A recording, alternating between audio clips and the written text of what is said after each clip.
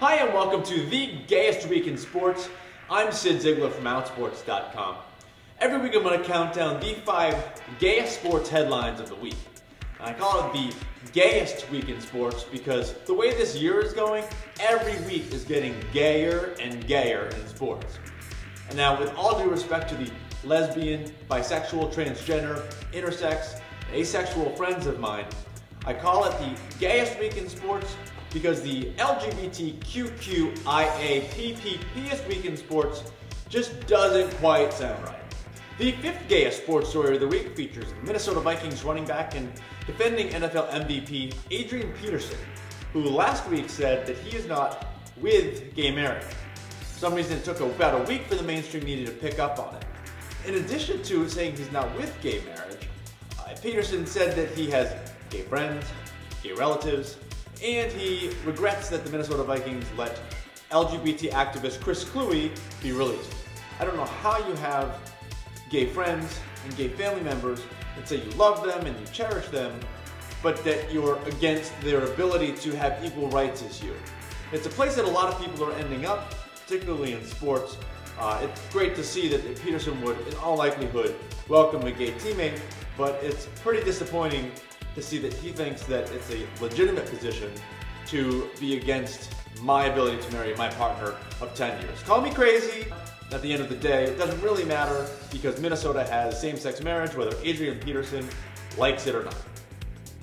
The fourth gayest sports story of the week features two other NFL players on the other side of the coin.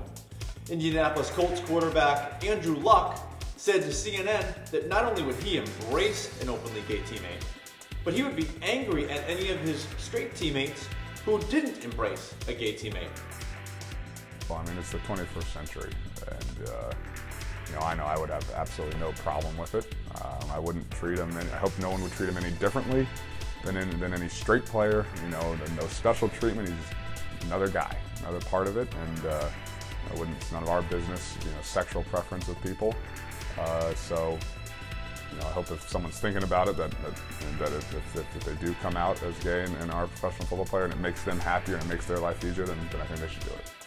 And from the Houston Texans, DeAndre Hopkins, I talked to him at the NFLPA Rookie Premiere event last week. I just ran the story this week about his lesbian sister, his friendship with Calvin Klein's former boyfriend, Nick Gruber, and his support for same-sex marriage. What's really cool about Hopkins is the power that coming out has. He's obviously been affected by his lesbian sister coming out of the closet, growing up in rural South Carolina where he has spent his entire life.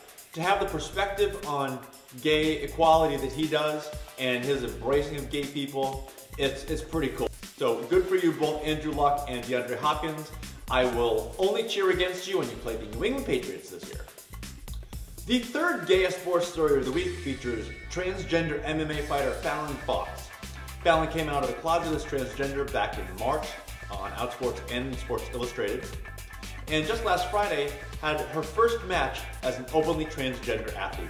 Of course, it didn't stop anybody on Twitter and Facebook and the internet, and even in the arena from booing her and trying to take away from her loss. Here's what's interesting to me about the all the people screaming about Fallon Fox. On the one hand, they say that she's too good and it's not fair that she has a quote unquote man's body and it's unsafe for her to be in the ring with people who were born female. On the flip side, they also say she's not a very good fighter and she's going to lose her next fight. So which is it? They're not really, they don't, they don't really have a legitimate argument against her. They just don't like the fact that she's transgender. But whether they like it or not, she's licensed to fight She's going to continue to fight. She loves the sport, whether people like it or not. I'm so happy for Fallon Fox winning that match, and I look forward to her winning um, for many years to come. The second gayest sports story of the week is Jallen Messersmith. He is an openly gay college basketball player at Benedictine College in Kansas. What's interesting is that we are now 2013. We've had an openly gay player in Major League Soccer and in the NBA. But Jallen is the first openly gay male college basketball player in the United States. What's so cool about Jallen is that he's Mormon, he's at a Catholic school, and it is, as I said before, in Kansas. All of these things should point to disaster, as a lot of people would say. But they didn't. He's been accepted by his family, he's been accepted by his friends, his teammates, and the school has totally embraced him. They're loving the attention that he's getting for them. And people are finally now seeing that it doesn't matter where you are or who you are. You can be a Mormon at a Catholic school in Kansas, and people still believe you should be able to play the sport you love and do your job. So great for Jallen. Keep it up. Look forward to next season. It'll be the, it'll, I think it'll be the first time anyone outside of probably the county will pay attention to Benedictine College. And the gayest sports story of the week, no big shocker here, Robbie Rogers, the openly gay soccer player who came out of the closet and retired in the same letter on his website back in February, took the field for the first time with the LA Galaxy on Sunday when they hosted the Seattle Sounders. The Galaxy went up 4-0 in the first half, and it was pretty safe to put even me in, in that with 15 minutes left. But they put in Robbie Rogers, and they made a bit of history. Their next game, uh, they went on the road to the Carolina Railhawks, which other than the Tulsa Drillers, the Railhawks has to be the gayest nickname out there uh, in sports. But other than that, uh, Robbie went, in, went to Carolina and was cheered. Uh, he has big shoes to fill.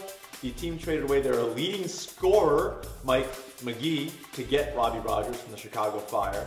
So Robbie's got a lot of work to do, but hopefully by July and August he'll be tip-top form, and uh, and everyone will, the LA Galaxy, will have forgotten that they traded away their leading scorer to get him.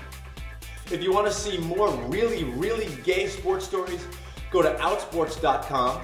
You can also follow us on Twitter at Big Shocker, Outsports. You can follow me on Twitter. It's CYD Z-E-I-G-L-E-R.